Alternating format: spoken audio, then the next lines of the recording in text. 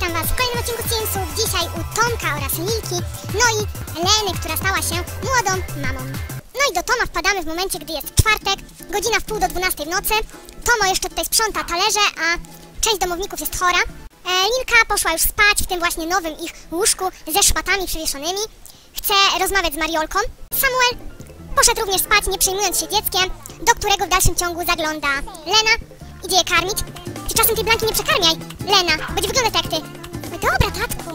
E, no i Kamil, pora, żebyś wyłączył na noc tą muzyczkę. E, nie przyglądaj się sobie, to nie jest ciekawy widok, po prostu maści sobie e, użyj na ten trąd. E, po czym pójdzie on już spać. No jego pokój został przekształcony na pokój Blanki, on więc musi iść tutaj do matki. Elena, jak już nakarmiłaś swoją córeczkę, to jeszcze ją obejmij szybciutko. Ona z kolei chciałaby porozmawiać z teściową od Jara. Może, że jakieś, żeby jej rady na temat dziecka e, udzieliła, bo Alina jest taką fajną osobą. Jak widać, ta rodzina pokazuje, że ona jest bardzo odczytana, dookoła książki się walają. Już pewnie o tej porze, jak zadzwonisz, to e, pani Natalka będzie spać, no ale spróbuj, może ci się uda. Tomo, ty nie ćwicz, błagam cię. Porozmawiaj sobie z kimś, z Andrzejkiem na przykład, może to nasz barman. Jest pani Natalka, o proszę, jeszcze nie śpi o tej porze. Dzień dobry pani Natalko, wie pani co, bo moja córka chyba nie toleruje laktozy. E, to ja jestem Lena. Boże, to pani Natalka nawet nie, nie wie, że jestem Lena, no. E, bo chodzi o to, że moja córka chyba nie toleruje laktozy ja właśnie nie wiem, czy mi karmi, bo tylko mleko je. Ej, co jest wujku? Jaki wujas? Co on tu wyprawia? Czy on chce okraść swoją własną rodzinę? To mogłaby być prawda, on byłby do tego zdolny. Lena już tutaj rozłączyła, proszę, jak ona przeżywa rozmowę z teściową i to, że Alinie się ostatnio źle dzieje, bo to naturalnie, że matka poinformowała Lenę o tym. No ale patrzmy na tego wujka, co on tutaj będzie robił. Tutaj akurat światła po tej stronie są, zaraz może ktoś go dostrzeże. Gdzie ty, Lena, tu leziesz na dół? Do wujka? No wujek jakieś dziwy tutaj odprawia, naprawdę. Aha, tak się po prostu skrada po okolicy. On specjalnie podgląda tylko, jakie oni mają alarmy. Tomo, weź może przywitaj tylko Można go tylko wyprosić. Nie no, nie wypraszajmy wujka, tak? Tam zaraz czarny go nakryje, w sensie Cyryl. Tomo, idź już spać. Już możesz. No i wujek zadzwonił do nich i o, proszę, się skrada. No dobra, przywitaj już tego wujka, jak on zaraz wszystkich tutaj budzi w tym domu. No prawda, że tak. O proszę, już, Lilka obudzona, wszyscy obudzeni.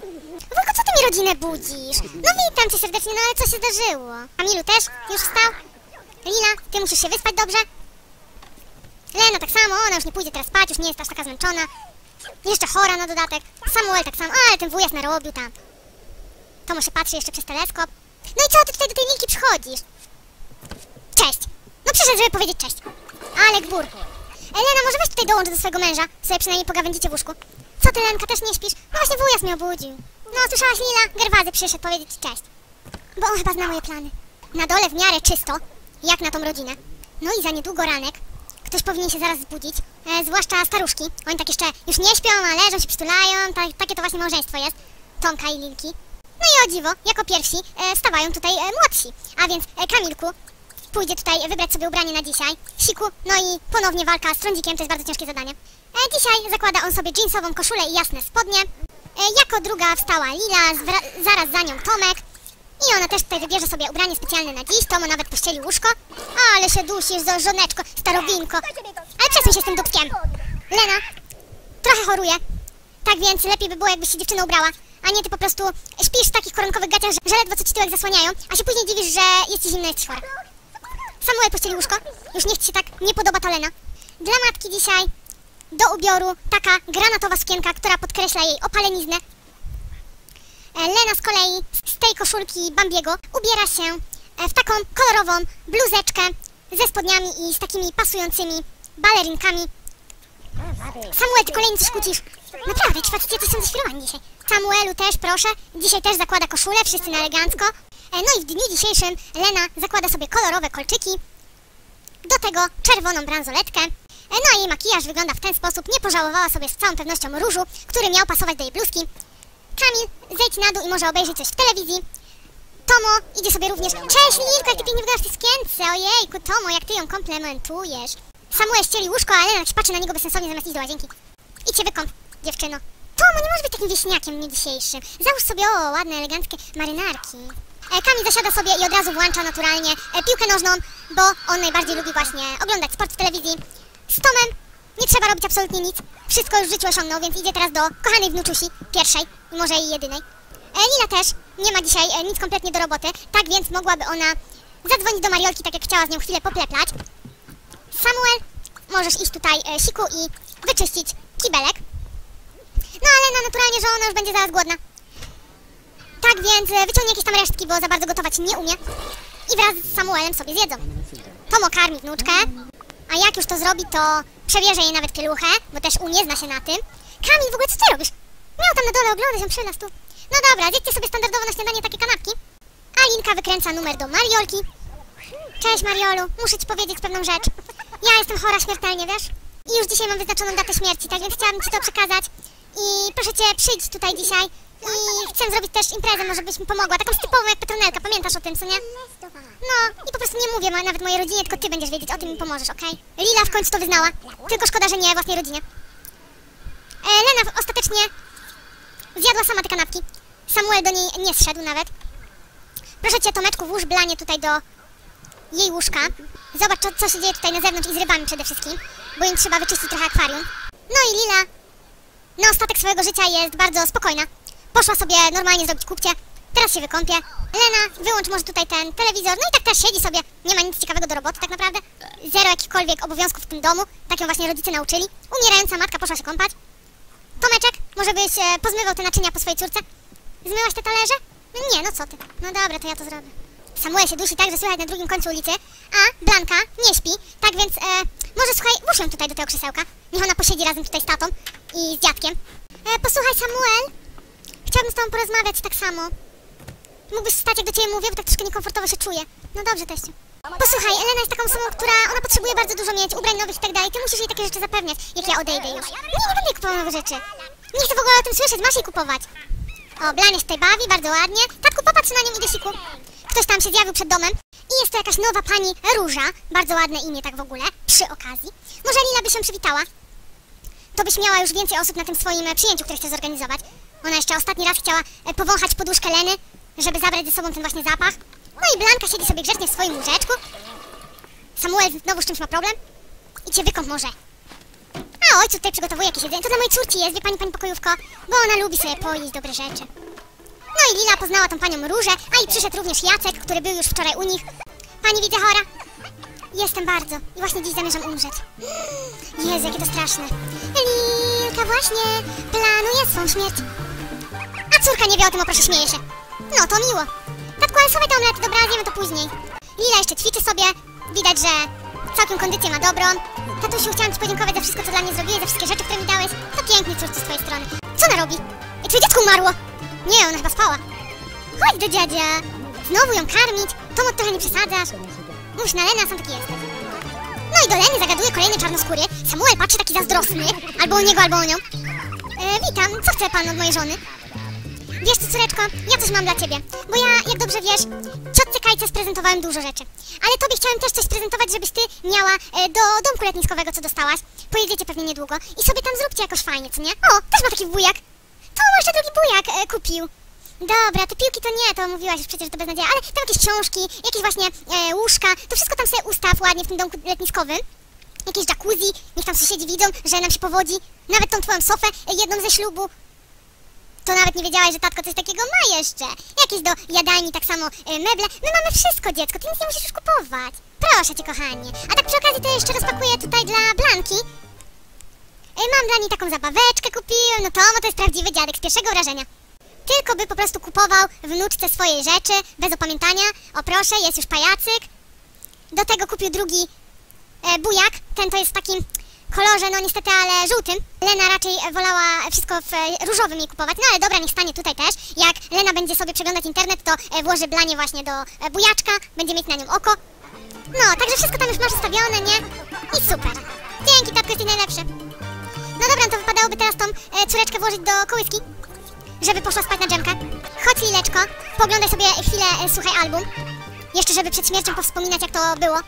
Przypomnieć sobie całą rodzinę i wszystkich, którzy umarli. No i ona akurat przegląda album jeszcze ze świąt, jak to Tomo e, dawał Filipowi prezenty, ona sama ma też selfie. Wszyscy byli tutaj obecni, wszystkie bratanki, nie bratanki, Lena dostawała auta i domy. Robili nawet pociąg, to wszystko było takie super. Ona sobie tak powspominała, ta Lila. No i teraz już pora, żeby zacząć zapraszać gości. Ten gość coś za bardzo ciągnie do Leny. No naprawdę. Okej, Lilka, dawaj już, streszczaj się z zapraszaniem. Sama to przecież wymyśliłaś, a Tomo cały czas stoi. Że go nie bolą plecy albo nogi. Co tak w ogóle tutaj leży? Co to jest? Zadzwoń. Aha, to jest słuchawka. Okej. Czemu e, poniewieracie słuchawką? Hej Kaju, kochana, chciałabym cię dzisiaj zaprosić z całą twoją rodziną. Przyjdziecie może, co? Pierwszy raz można zaprosić wszystkich? Tak, tak, bardzo chętnie wszystkich. To nie będzie problem z usadzeniem. Tomo, wiesz co, ja zapraszam, chciałam taką imprezkę zrobić małą. Mogę? No pewnie, że możesz. Naturalnie, że musi przybyć także ksiądz, ksiądz Bartek. Księdze Bartoszu, to ja, Lila. E, muszę po prostu księdza tutaj wezwać, natychmiastowo. A z kim pan ksiądz chce przyjść? No dobrze, nowy proboszcz? Okej. Lena zaczęła grać w piłkę, ale po co? Będziecie zaraz przywitowywać całą rodzinę, która się tutaj licznie gromadzi. Niech będzie tak, że wujek Żul, wszyscy już widzą Lenę z daleka, to jest akurat pewne, niech przyjdzie z żoną oraz z dzieckiem. E, kolejną osobą jest naturalnie Mariolka, która ma pomóc tutaj w organizowaniu tego typowego przyjęcia. Zapraszamy ją z rodziną. A co to się stało, e, pani ciociu Leny, że co to? Teściowie robią jakąś imprezę dzisiaj? No i Mariolka może przyjść jedynie z Henrykiem oraz z Almą, więc e, w taki sposób ich zaprosimy. Lena porozmawiaj może chwilę z Sońką, póki nie zjawią się następni goście. Przyszedł już ksiądz. No, przyprowadził Rozalkę. Rozalka to proboszcz. Ten w ogóle, em, Samuel, chce walczyć z księdzem. To widać, że on bardzo jest e, oddany swojej religii. E, niech przyjdzie jeszcze Anina, naturalnie, że z rodziną. Rozalka grzecznie przeszła po pasach. Przyszła nawet żona Żula, naszego wujka. No i Jagoda niech również wpadnie, niech wpadnie też. No może matka Aliny, okej, bo też jest stara. Tomo cały czas tylko pschuje się, kto zostaje zaproszony. Ten Samuel tylko ze wszystkim chce walczyć. Co za gość? Co tam pani Rozalko się pani tak wścieka? Dobra, przywitaj wszystkich, nawet jakaś Adrianna się tutaj załapała jeszcze. E, niech będzie Robert. Samuel, jaki bieg. Skok w dal. No i przyszła już Mariolka, która zatroszczyła się o wszystkie przedmioty, o które poprosiła ją Lila. Ksiądz Bartek gdzieś tam z boczku stoi, a w ogrodzie pojawiły się meble na uroczystość typową. Mamy tutaj typowo czarne stoły, o wiele lepsze niż e, pojawiły się u Petroneli. Do tego e, bardzo wygodne czarne krzesła, obite jak widać skórą. Do tego mamy czarny bar, czarny bufet, a nawet grill. E, Mariolka dała jeszcze Lilce od siebie prezent w postaci takiego drzewka, które zabrać może ze sobą do zaświatów, żeby wkupić się w łaski świętego Piotra i żeby otworzył jej on bramy do nieba. A na jednym ze stołów stanęła podobizna Lilki, za czasów jej młodości zrobiona rzeźba, jak to pozowała jakiemuś artyście. E, więc trzeba przyznać, że Mariolka się tutaj postarała, pięknie wszystko przygotowała, no i wypada ją naturalnie teraz przywitać. Samuel właśnie skacze w dal. E, Robcy zaproszony będzie z Lilką oraz z Patrysią. Lena, wy macie takie pokojówki? Ja myślałam, że tylko w bajkach się dzieje. Nie no, co ty, tatko mi załatwił wszystko. No, Sońka zdziwiona, że oni pokojówki mają. A tu proszę, jaka impreza się rozkręca. Naturalnie, że Kajka i jej dzieci, to oni sobie w kółeczkach takich tańczą zawsze, na każdej imprezie.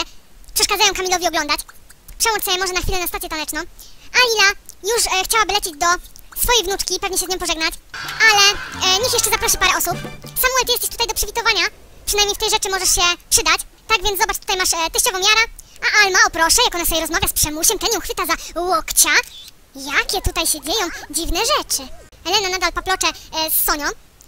A Lilka wysyła kolejne zaproszenie do swojej kuzynki Broni. E, Tomo został poproszony, żeby przygotować em, coś na grillu, bo właśnie mamy wiosnę, pierwszy grill e, tego roku mógłby zostać odpalony. On potrafi tylko hamburgery, więc no to właśnie zrobi.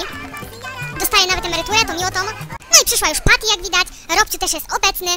No to jeszcze Eryk i jego rodzina. E, proszę powitać tą panią, która tutaj tak stoi i nie wie, czy ma zostać, czy nie. E, ksiądz już chce tutaj skrytykować Sonkę e, za jej tatuaże. Już widać to po jego wzroku nieprzyjaznym. Alinka wchodzi do mieszkania właśnie, Tomo tutaj przygotowuje hamburgery. O proszę, Mariolka jak tańczy z Kajką. O ludu. Teściowa jakąś spinkę sobie kupiła, włosy wsadziła. E, Rozalka z tą nową panią tak się przyglądają z boku. Też by chcieli dołączyć, ale się krępują. Chodź może Kamil siku, bo później się już nie dopchasz. Jagoda, ty też idzie? Za dom od razu, ona wie, że tutaj się będą rzeczy dziać na zewnątrz. Coś tam podsłuchała, jak Henku rozmawiał z Mariolką. Ktoś tam jeszcze przyszedł nowy? Tutaj ta pani została przywitana przez Samuela. Już pewnie będzie z nią spędzał e, ten wieczór, bo on zawsze tak robi, niegodziwiec. Może Gryzelda, bo ma akurat nowy make-up. No, akurat jej się zachciało nie przyjść i nie pożegnać Lili, która, o proszę, już coraz gorzej jej się dzieje. Zaraz naprawdę nam zemrze e, przedwcześnie. No i goście już powoli kierują się w stronę budynku. Nie przesiadują tutaj na zewnątrz. Przyszła jeszcze kuzynka od Lili. E, ciotku Bronku! Poczekaj, mój wujek coś chce ode mnie, wiesz? Sami? Momento. Co tam, wujku? Witam cię, witam. Ta Bronka też gdzieś łazi, nie wiadomo gdzie, nie można jej przywitać w ogóle. No tutaj to balanga się zrobiła nagle niezła. Patrzcie tylko na to. I Janiusz nawet y, tańczy z Mariolką. Z taką starą rurą. O proszę, jakie tańce. Kajka to już prawie na dywanie leży. Licy się podoba wygląd nowy Marioli. E, Tomo dzielnie rozkłada tutaj hamburgery. Ksiądz Bartek też się zjawił i właśnie e, idzie w stronę Lilki. Ona musiałaby z nim troszeczkę porozmawiać przed tym swoim odejściem. Tamara? No może jeszcze taka jedna Tamara by przyszła, akurat jest na czarno ubrana. E, wpadła również e, Melisa, tak więc Lena, przywitaj ją bardzo gorąco i serdecznie, a następnie będziesz musiała podlecieć do ciotki Bronki. E, Kamil przyjdzie już tutaj zjeść. Przygotowane są właśnie hamburgery, mógłby to podać również. Tomo słyszy muzykę, więc już idzie w tym kierunku, żeby właśnie potańczyć. Chodź, przywitaj tą bronię. Przywitaj może o wszystkich, będzie najlepiej. Odnoszę dziwne wrażenie, że matce Aliny podobają się przyjęcia stepowe. No patrzcie tylko, jaka ona jest zadowolona w dniu dzisiejszym. E, przyteryk, ale on tak wszedł bez pardonu, nie przedstawił się nawet, że to. Nie no, każdy go zna to. Nie bądźmy już tacy. E, Lilka próbuje się przedostać do księdza. W ramach ostatniej spowiedzi. Drogi księdzu, chciałam się wyspowiadać, bo ja zaraz umrę. Nie umrzesz, dziecko, co ty gadasz? Chciałam się wyspowiadać. Raz kiedyś robiłam omlety na urodziny mojego męża i to mi nie, w ogóle nie wyszło. Specjalnie to spaliłam. Jak tak mogłeś zrobić, córko? Wiem, to było okropne z mojej strony. Ja to zrobiłam specjalnie, bo nie chciałam, żeby miała. No, ksiądz jej nie chce wybaczyć tego, no.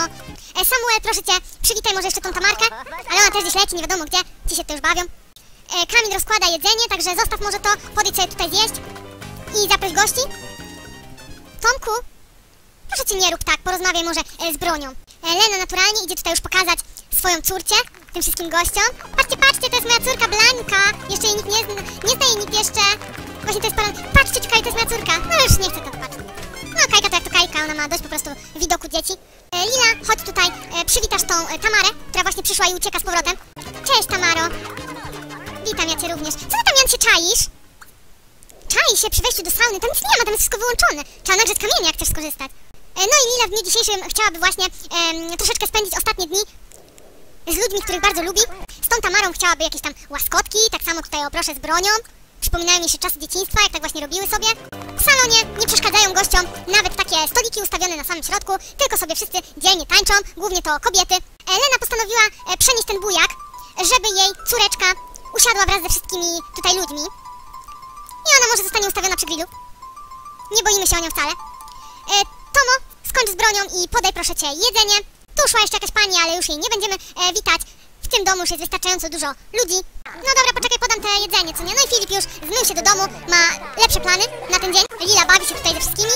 Może jeszcze zawoła księdza, gdzie on się tutaj znajduje, on jest aż na samym przodzie. Bronka tutaj komplementuje Lilkę, swoją kuzyneczkę. Miło mi, że tak mówisz.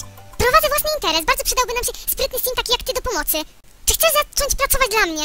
Jako inżynier dźwięku. O ludu, jak fajnie! No jednak znajomości są przydatne. Właśnie dzięki rodzinie Lilka by dostała pracę. Przykro mi, kochana, ale ja już dzisiaj umieram. Co? Jak widać, goście zaczynają się tutaj już częstować. Lena już podbiera Janowi sałatkę. Sama sobie oczywiście nie może nałożyć, bo jest zbyt leniwa. Do Toma podchodzi Alma. Co ty chcesz, dziecko, od wujka? E, Na samej górze jeszcze Kajka się uchowała. To też najlepiej by było, gdyby Lilka ją zawołała na dół. Chciałaby, żeby była ona obecna podczas jej odejścia. Córciu, chciałabym cię oficjalnie pożegnać, pa. I słuchaj, bądź dobra dla męża, dla ojca i dla swojej córeczki. Najlepszą musisz być matką na całym świecie. A teraz, ale dlaczego mi to mówisz, mamo? Kajka, zejdź szybko na dół. Zajmę się twoim dzieckiem, dobra? Potrzymam ją troszeczkę, może po raz ostatni. No, Lena patrzy na tą matkę z takim niedowierzaniem, nie wie o co jej chodzi. Bierz tą swoją sałatkę lepiej. Stoły się tutaj zapełniają, raczej e, ta prawa strona jest e, bardziej lubiana przez e, gości. Moja kochana wnusia, przepiękna wnuczka. Chodź, zrobimy ci. Lilka poprosiła naturalnie ostatnie zdję- zdjęcie z jej wnuczką, żeby wnusia później sobie obejrzała album rodzinny i widziała właśnie swoją babcię. Zmieni jej pieluchy, tak ona na zewnątrz, a co tam? Zaprośmy jeszcze gości, tak? Lila tutaj mówi, żeby się częstowali. Jedzcie, jedzcie, kochani, nie krępujcie się w ogóle. Co ty robisz z tym dzieckiem? Kładzie na trawie. Laura już tutaj zasiada naprzeciwko swojego synusia, który wcina galaretkę. Alma tuż obok niego, chyba tutaj em, oni się całkiem dobrze zaczęli dogadywać. Chociaż ty, Alma, jesteś taka zatronikowana, naprawdę. Aż żal na ciebie patrzeć.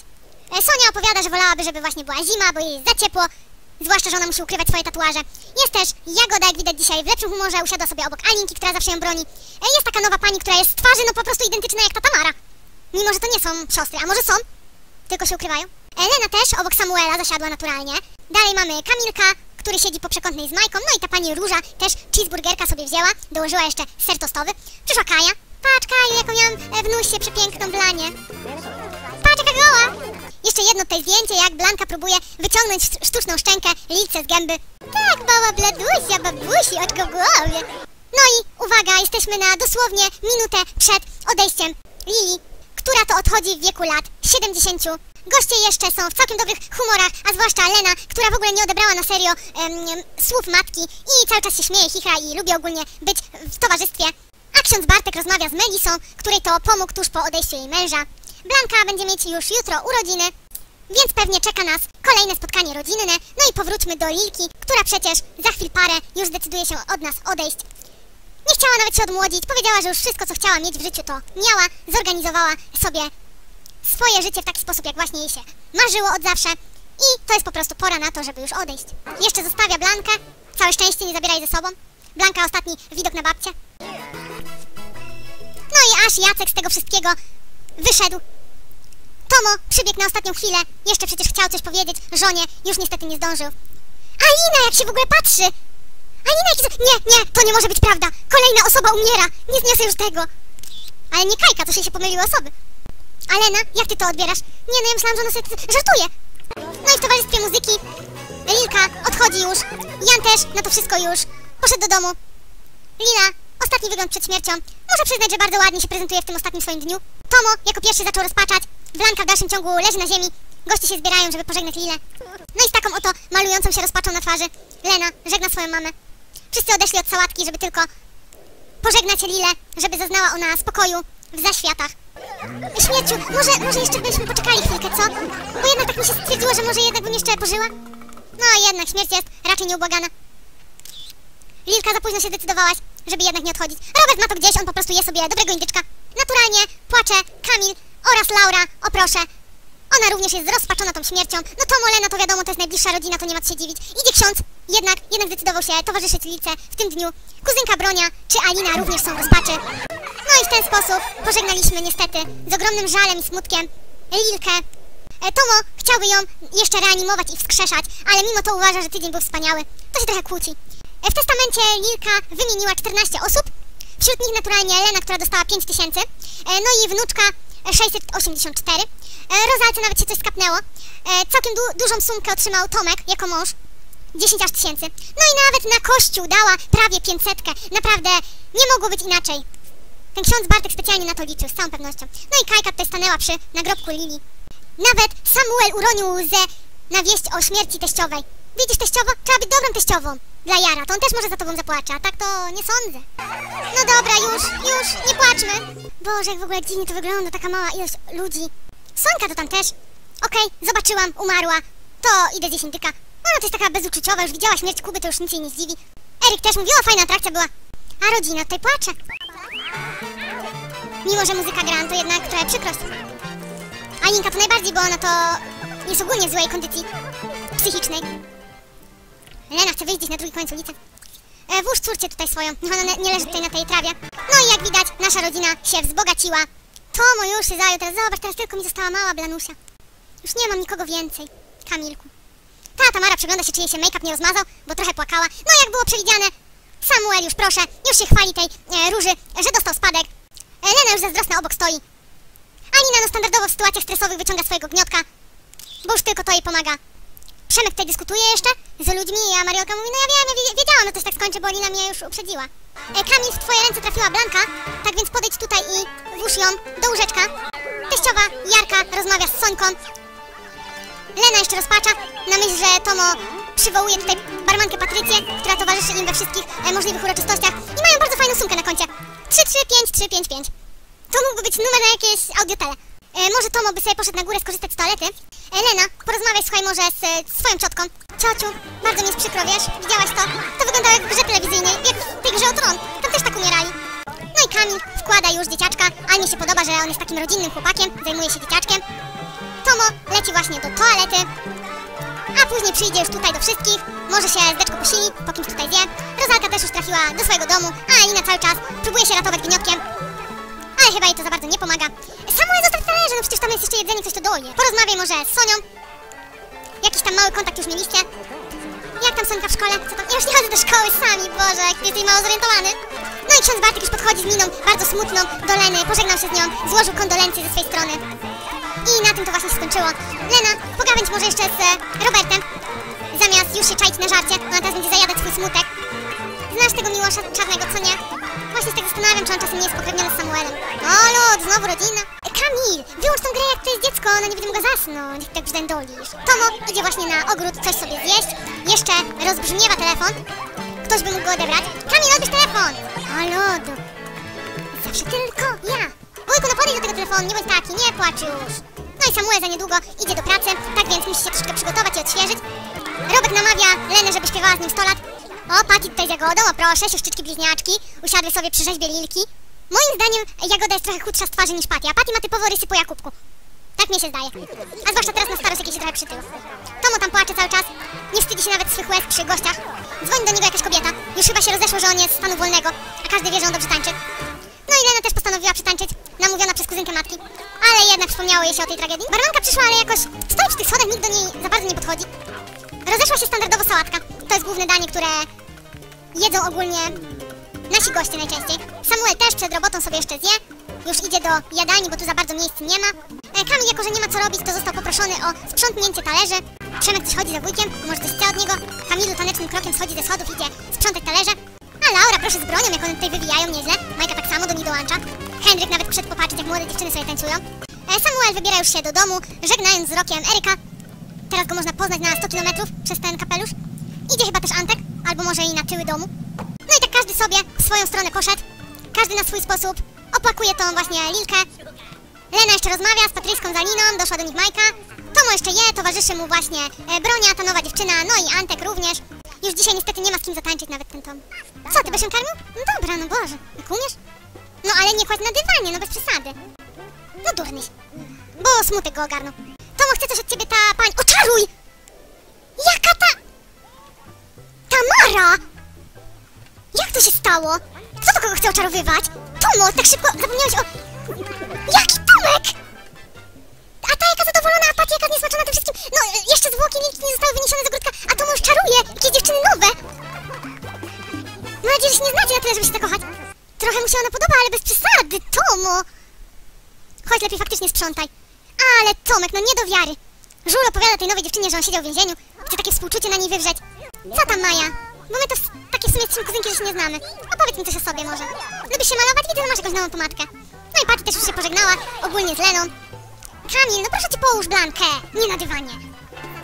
Tomo, my musimy cię troszeczkę kontrolować, bo robisz takie rzeczy niesłychane.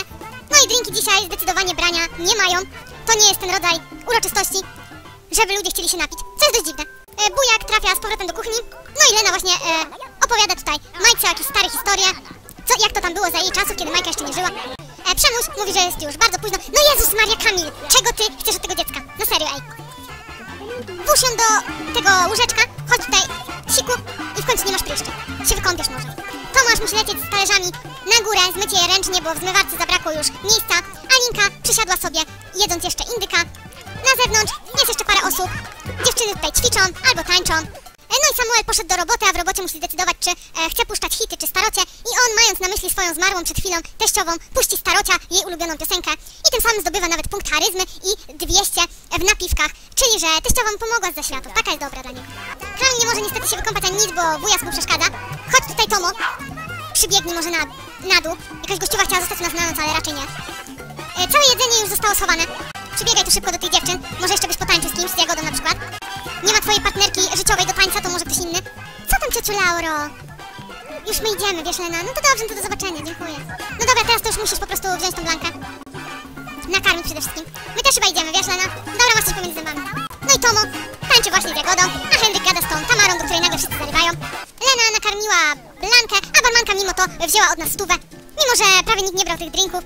To jest wręcz nienormalne, ona nie straciła żadnych e, przecież e, swoich produktów. No jak widać, Tomo znalazł sobie nową partnerkę do tańca, ale poczekaj, bo już Kajka patrzy w moją stronę, też bicia. No dobra, to idź już, patrz. Kajka, widziałem, że patrzysz na mnie. Brat do mnie zatańczy. No chodź, zatańczymy jeszcze. Tańcz tak Lilka, to będzie na... na jej właśnie cześć. Ona też tak umiała tańczyć. Już idziesz, Broniu, mogłeś zostać. E, Tamaro, ty również? No, do zobaczenia, bardzo pięknie wyglądałaś. Dzięki, cześć. Lena też już właśnie idzie do łazienki. A Kamilu nawet zdecydował się spać na miejscu ciotki ukochanej, za którą będzie z pewnością tęsknić. Powoli ta rodzina się wykrusza. Wujek Gerwazy gra w szachy z tą nowo poznaną dziewczyną Natalią. E, Lena, przyjdź jeszcze proszę się, wykąp tutaj, weź sobie prysznic. Tomo też to robi, właśnie tak myśli, jak to teraz pochować, tą Lilkę. Przydałoby się, żeby tak nie leżała w ogródku, a z drugiej strony mu szkoda właśnie się z nią rozstać. No i tak cały czas mają na myśli. Przykro ogromnie, bo przecież spędzili ze sobą tyle lat, chyba z 40. Nie zrobili 40-lecia nawet. Już nie zdążyli. No i Tomo położył się do łóżka z Kamilem. Wraca też Samuel, który w podskokach przybiega tutaj do ich takiego gabinetu biura. No i będzie mieć on niespodziankę dla swojej żony. bo wykupuje im wakacje w tym domku letniskowym. Okej, Blanka chyba się uspokoiła, poszła spać, tak więc Lena, całkiem się chyba nadajesz na matkę. E, No i Samuel wraz z Leną będą jechać właśnie na wakacje. E, No i ich wyjazd nastąpi w niedzielę. Pojadą sobie na trzy właśnie dni. No i mają już zakupione na trzech jeziorach taką willę, dostali ją właśnie od Lilki. Tak więc, żeby e, Lena troszeczkę mniej cierpiała po stracie matki, to mąż zabierze ją na takie wakacje. Tak, okej, zgadzamy się na wszystko. No i o ósmej przyjedzie po nich właśnie e, autobus. Idź tam do swojej żony. Czy jej chcesz powiedzieć o tym, czy nie, to już jest twoja sprawa. I na tym będziemy kończyć ten dzisiejszy przykry odcinek, w którym to pożegnaliśmy Lilkę, która od wielu lat nam towarzyszyła.